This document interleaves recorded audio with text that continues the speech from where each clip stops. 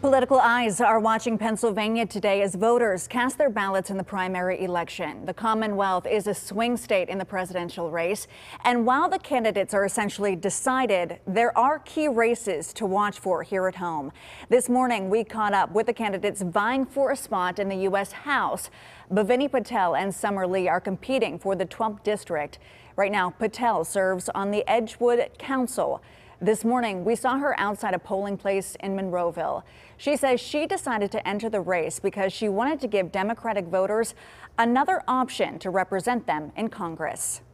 But at the end of the day, I think the thing that's been a consistent theme is being able to hold on to the positivity and the promise of what this region has to offer. And again, I think bringing people into the Democratic fold and, and giving them an option that's not focused on division.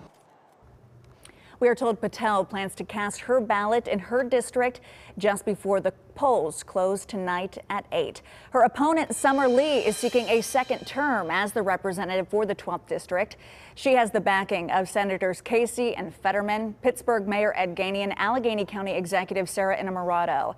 And she's taken heat for her stance on aid for Israel, but she says Israel isn't the only reason voters should cast their ballots. So we recognize that we have to be responsible to talking to all of those people at all the times uh, so that they realize that even if we don't always agree, that we are still working to solve the everyday problems that people in Western Pennsylvania have. Says she plans to visit other polling locations today alongside Pittsburgh's Mayor Ed Gainey. Of course, stay with KDKA for election results as they start rolling in tonight. Our election special airs at 8 p.m. on KDKA Plus. Ken Rice and political editor Jon Delano will break down the results from all across the region.